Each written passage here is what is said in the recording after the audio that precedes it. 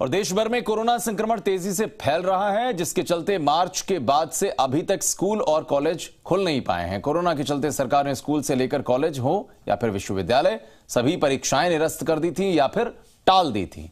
लेकिन एमपी सरकार के भोपाल शिक्षा मंडल ने तुगलकी फरमान जारी करते हुए राजस्थान के हज़ारों छात्रों की मुश्किलें बढ़ा दी हैं।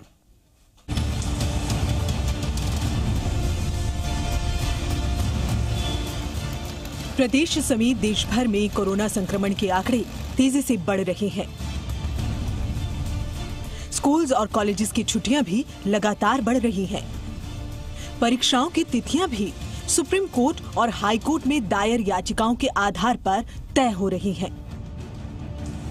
लेकिन भोपाल शिक्षा मंडल द्वारा 1 सितंबर से डीएलएड की परीक्षा की घोषणा कर दी गई है।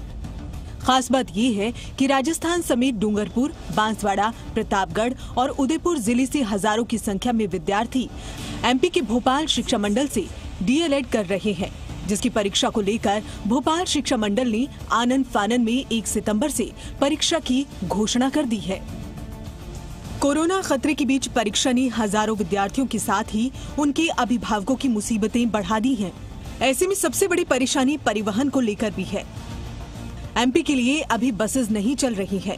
विद्यार्थियों ने फ़िलहाल राजस्थान सरकार से मामले में दखल देते हुए एमपी सरकार से बात कर परीक्षाएँ निरस्त करवाने की मांग की है।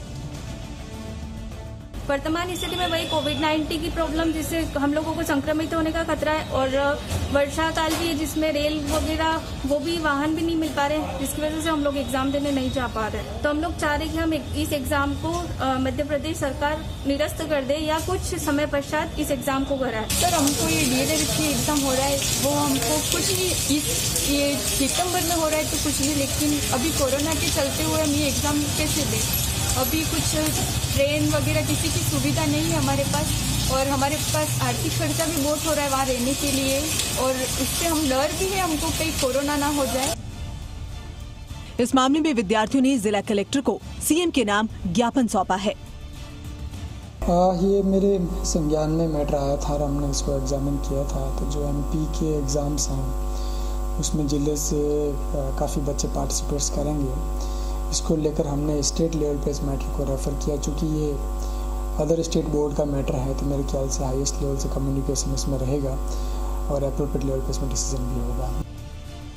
अब देखना होगा कि राजस्थान सरकार इस मामले में एमपी सरकार से बात करके किस तरह से राहत इन हज़ारों विद्यार्थियों को दिला पाती है।